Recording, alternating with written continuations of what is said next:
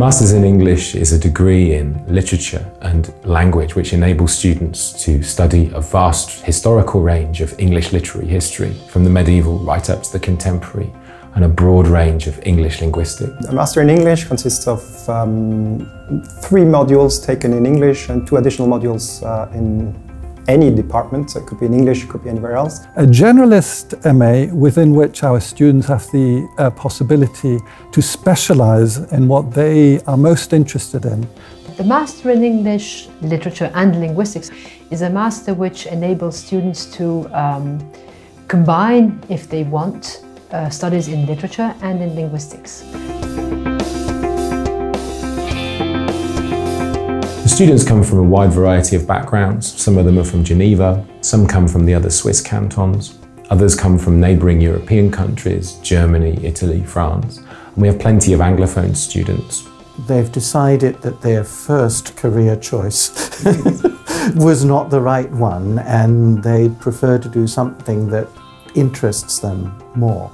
Uh, and they're usually people who read. I mean, that's, that's, that's what brings people to the study of English.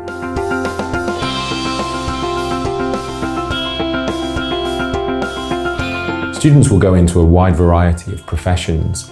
Many of them are planning to go on to teach in the high school system in Geneva. The king hath on him such a countenance as he had lost some province and a region loved as he loves himself.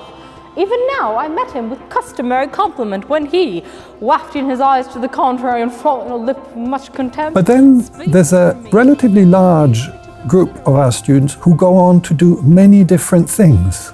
And it's impossible um, to enumerate all of them because really having an MA in English equips you to do many things uh, for which independent thinking, good speaking and writing skills in English and analytic thinking are important. Our students really appreciate um, the fact that we are a, a department open to many different things. They have different domains of study, but they also have different professors with different points of views, and they have the possibility to choose among very many different topics.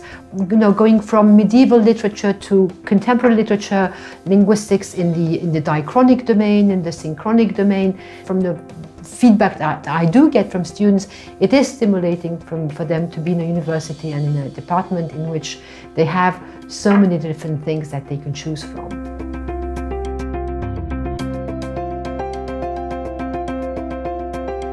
I guess I mean certainly one of the strengths of, of this MA is that it gives you a lot of freedom, so you can cho really choose what you're most interested in. I think there is really no, um, I mean, beyond timetabling constraints and what is on offer every year. At the same time, I think Geneva is a real asset because of the strength of its university, because of its cosmopolitanism, because of where it is at the heart of Europe. Geneva is a great city in which to study English literature for all kinds of reasons, mainly because of the quality of the academic staff in the English department. We have internationally renowned professors in all of the major areas of English literary and linguistic study. We have um, an impressive body of students, an impressive group of students, but it's true that the size of our MA is such that we can afford to give time to our students. We think that supervision, personal availability to our students is important. And one of the things we share, we professors in the English department, is a passion for teaching.